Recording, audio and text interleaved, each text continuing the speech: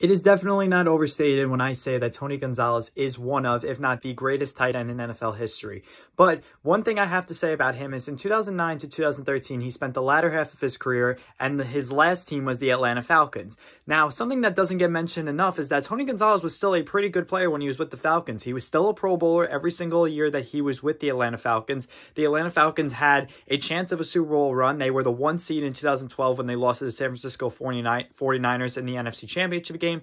So I don't think it's fair to say that Tony Gonzalez, you know, definitely, I think it's fair to say that Tony Gonzalez, he never faltered, he never fell off, anything like that. Tony Gonzalez is easily one of the greatest, if not the greatest tight end in NFL history. And even when he was playing with the Falcons, he kept that rhythm up. No matter what, he never stumbled, he never faltered. He was easily the greatest tight end that the Falcons have ever seen. And hopefully they can get that with Kyle Pitts. Although Kyle Pitts is still a big question mark, I think it's fair to say that uh, he has to live up some to some high expectations.